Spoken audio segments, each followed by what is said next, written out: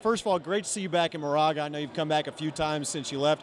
What's it like being back here, having all the guys back? I mean, I'm sure that's the most special part. Yeah, this is a special weekend. Um, you know, really glad that um, the school has gotten around in the basketball program to do something like this because, for the most part, you know, we've all gone our separate ways once we've left here. So it's a good chance for us to, you know, reminisce and, and, and hang out again. So uh, this is a special place for, for all of us. Uh, always good when we come back. It's uh, you know, it's home away from home, especially for me. So um, you know, a special day today.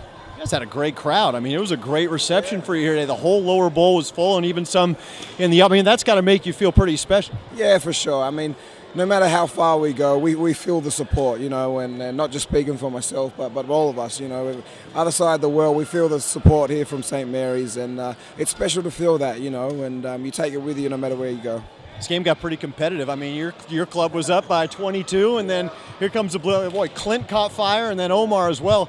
How competitive you see this thing coming into it? And then were you surprised by the level of competition, especially the last five minutes or so? I was. I was very surprised about how competitive it was. Actually, I was looking forward to just hanging out on the bench and catching up with everyone. and I was like, oh, I actually got to do some coaching here, which I didn't even do. But uh, an awesome time. But uh, yeah, it's the it's the St Mary's spirit. I think is to, is to compete, no matter if it's an All Star game like this, an open gym, or, or a little scrimmage. So uh, it's good to see the fight in everyone.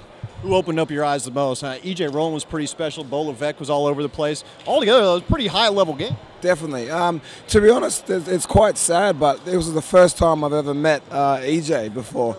Um, obviously, love his game and uh, and watched it from afar, and still do now. So it was good to, to meet him, you know, and, and have a good chat with him. So uh, he's, uh, you know, he, he was eyes open, you know, for me uh, watching him play today.